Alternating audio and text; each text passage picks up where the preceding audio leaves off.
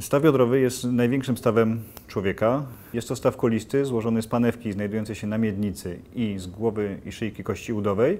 Z racji tego, że jest w centrum naszego ciała, reaguje na to, co się dzieje powyżej, czyli na zmiany w obrębie kręgosłupa kończyn górnych, jak i na y, zmiany w obrębie kończyn dolnych, czyli na przykład na długość y, kończyn, na nierówną długość kończyn, na szpotawość, koślawość y, czy płaskostopie.